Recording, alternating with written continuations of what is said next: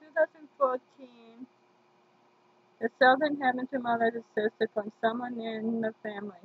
The person did to my sister was a stepdad. Well, he had called today and he got 90 days in jail and he has to go to treatment.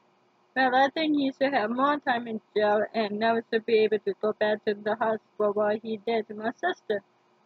Because this is the second time he, he did this to this. Because my stepsister in 19, he did it to my stepsister in 1980s. Two, plus he pleaded guilty that he touched her, touched my little sister between the legs and touched the boobs and butt. Well, yeah, plus he should be, be, um, they should have him be a sex offender. And I think my mom should leave him for what he done.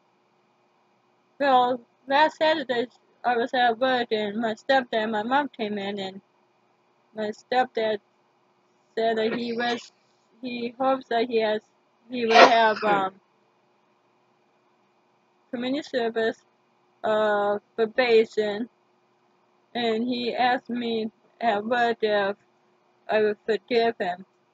Well no but this is his second time he did this to someone in my family.